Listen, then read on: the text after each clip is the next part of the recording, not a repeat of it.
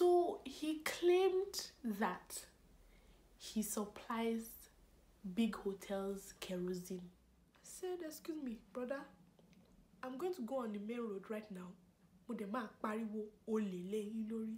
So Adake ṣí mọ́tò yìí bí mo ṣe wà yìí kí n mi. I was like, ah, email address leléyìí kò í ṣe website. Where is your website? Hi guys, welcome back to my channel. If you're new here, welcome. My name is Dabi and I make all sorts of videos to be honest, but usually about London. But today's video is all about Yahoo boys because you know what?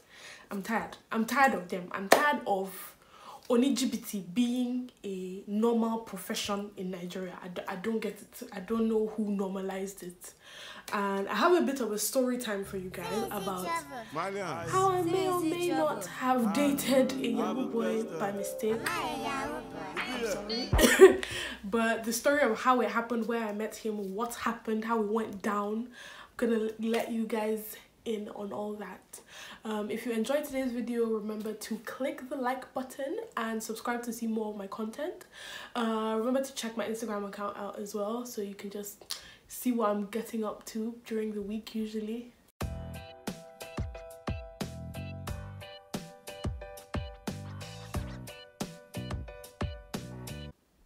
Whole thing started on Instagram. He slid into my DMs and I remember going to his profile. I was like, this boy isn't bad, you know. He's not he's not bad. Let me let me give him my number. Let me let me just give him my number.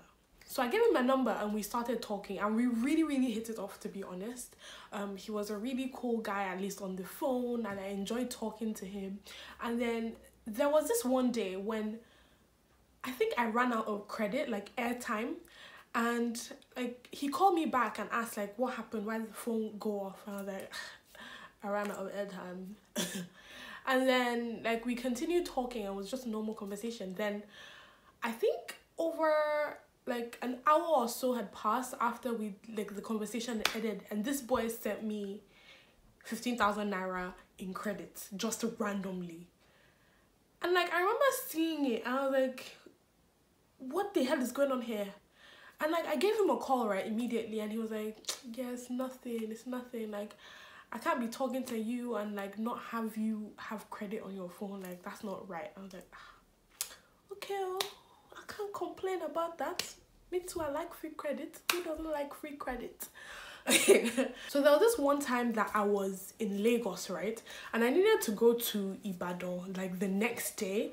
And the taxi person who was supposed to come pick me up cancelled like the night before. And I was supposed to leave really early in the morning. Now, boys and girls, please do not be an idiot like me because I was very stupid.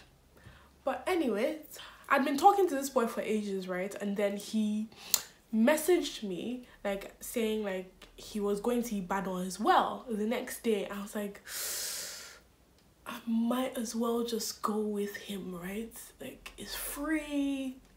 I get to meet him, two birds, one stone, that kind of thing. Problem number one. The story hasn't even really started, but problem number one. At 7 a.m. in front of someone's house because I was staying with a friend, he started honking outside the person's gate. And ah, even me, I was like, ah. And I got outside. It was him that was supposed to come pick me. At that point, I was desperate. So I was like, you know what? I'm just going to get in this car. Whatever. I got in. Do not do that. Don't get to a stranger's car. That is useless and stupid behavior. And like, yeah, that's me. After a while, he started talking about me and him dating since we've met now. Ah, I was so confused.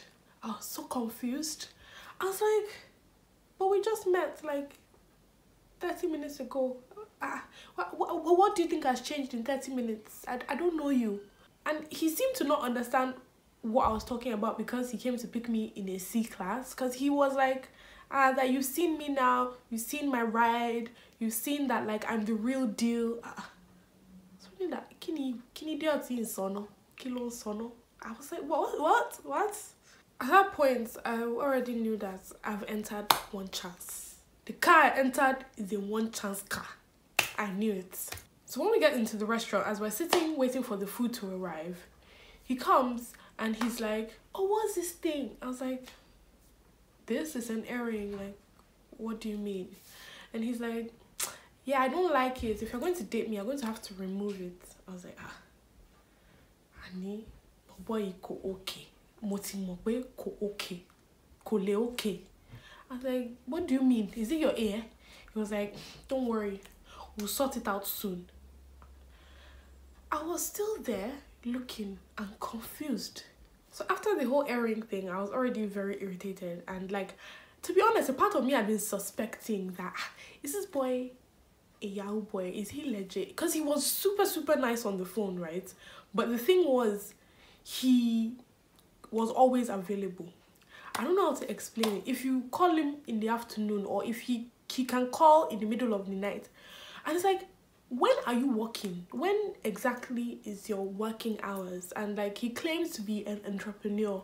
From what i know people who own a business are even busier than everybody they employ because it's your money that's at stake. So you get tend to be very serious with that. And this boy just always living his best life every day flying up and down I decided, you know what, today is your day. Now that I've met you, I'm going to actually figure out what it is that you said you do. So he claimed that he supplies big hotels kerosene. That's the business he does. Ah, I was like, what kind of hotels? He was like, Four Points, Intercontinental, hotels like that, really big ones, because actually they sell it at like a very large scale. Ah, I was like, kerosene. Ah, the kí ló fi kí four points if you kerosene ṣe? Is there lantern there? Ah. Like, okay. oh. And at that point, I was like, oh, like, so let me see like your business card. And then I saw the business card. Was, it looked like a normal business card, and I saw the business card under websites. What was there was email address. Ah. I was like, ah, email address, lele, kò í website. Where's your website? And he was like, oh, that's like my website. Like, you don't really get how it works. That because of security purposes, the big companies they work with don't really want too many people to know their suppliers. So that's why they put email address as a website. Ah, that's the point where I knew only GBT, only Yahoo Yahoo. That's what you do. Because what kind of daft explanation is that? I like, okay, okay, okay. Do you have any other businesses? He said, yeah, that he has, his family has a shop in Computer Village. They sell Apple products, but not iPhone and not MacBooks, but they only sell like Apple products. Ah, in my head, I was thinking that's wheelbarrow because I automatically wheelbarrow here. That's what I know they sell accessories. I've not seen a very big shop in Computer Village that all they sell is accessories, except you're selling it wholesale. And I don't, it, it can't be only Apple. That makes no sense in Nigeria. It's like, there, that's your second business. Is there a third one? He said no. That's all. I was like, okay, that's that's really nice. Cool. I don't know what kind of patience I had that day. I was just looking at him. I was just looking at like this is a madman and I just don't want to disgrace you because I will disgrace you and disgrace myself, disgrace everybody here because you're obviously mad. And the only way to handle a mad person is to be madder than a mad person. I'm sorry. That's that is my sincere opinion. When he started looking at my earrings again, I was like, What? What do you want? He was like, It's not real gold, is it? I'm like, No, it's not. It's costume jewelry. What do you want from me? Is it your business? He was like, don't worry when i start dating you i'm gonna fix you up all these like costume costume things you're wearing uh, don't worry it will all be gold i'll replace it for you ah wondering that ṣé mo ní ebi or mo ní ìyà ń jẹ because of free ride because of ordinary free ride i'm the stupid person that put myself in that position yes because nobody forced my two legs inside the car in the first place at that point i knew that okay thank you mi ò ṣe mọ́ bọ̀dá oníjìbìtì Boda Ole. I want my bag. I'm going. I was like, can I go and get my bag from the car, please? I actually have somewhere to be. I'm going to take Okada there because I'm tired of you. And he, I think he thought I was still joking until I stood up and said, I will start to shout here now if you don't open that car. We got to the car. After I've already done small way for him, just small, you would think that he would want to behave, but no, no, no, no, no, no, no sense. Next thing he was like, oh, before you get your bag, you're going to have to kiss me. I said, what? Eh? You just finished insulting me, insulting the waiter. You've confessed with style that you are GPT. Oh, Nisha Gidi Lowo. You are not telling me you want to kiss me to kiss you to get my own bag. My bag. I said, excuse me, brother. I'm going to go on the main road right now. Mo dẹ̀ máa pariwo olè lẹ́yìn lórí. So Adake ṣí mọ́tò yìí bí mo ṣe wà kí n tó la. And then he started insulting me and calling me the B word, calling me gbogbo gbogbo. Mm, thank you, oníjìbìtì. Give me my bag. And then I took my bag and I took the next Okada on my way. That whole Yahoo thing, I'm actually tired of it because you see all these boys out here that look like normal people who have a nine to five and go to work in, during the day and like, but when you ask them, what do you do, sir? That is usually, that is where they get exposed. It's either I'm into oil and gas. What can, is that a profession? Is oil and gas a profession? Or business?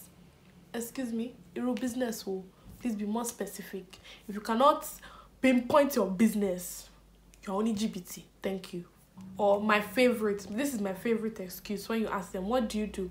Oh, I just do one or two things, one or two things here and there. That's, yeah. Anyways, I hope you enjoyed today's video and remember to click the like button if you enjoyed it. If you've actually experienced any Yahoo boy or anything like that, please drop it down in the comment section because I love hearing those stories. Not the one that you followed the Yahoo boy and you're not married though. Please keep that story to yourself. But see you in the next one.